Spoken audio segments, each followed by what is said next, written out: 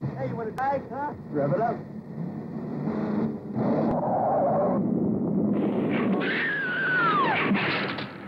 Action you've never seen races across your screen as you thrill to a new dimension in picture making Carnival of Souls.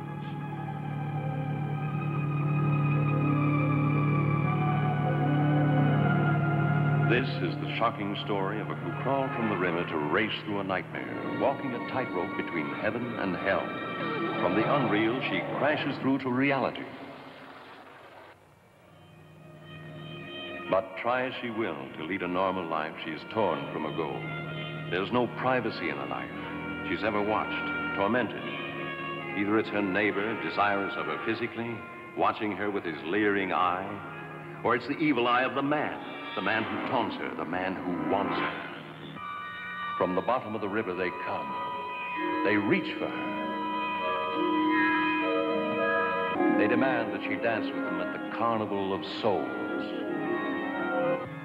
She is a girl driven mad by the relentless forces of the beyond. He will not relent as he comes for her again and again. She whirls between the real and the unreal, trying to cling to life. I like being with you, really I do.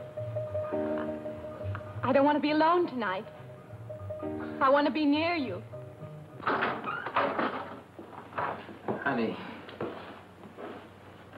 you don't want to go in there all by yourself, do you? But she must watch herself in death. She must dance at the Carnival of Souls held just for her. For they have come for her for the last time, claiming her as one of their own. Carnival of Souls arouses such emotion that the management has been forced to state positively no refunds. Carnival of Souls is the shocker of all time, guaranteed to sweep you into a new dimension of picture making. You can't afford to miss Carnival of Souls.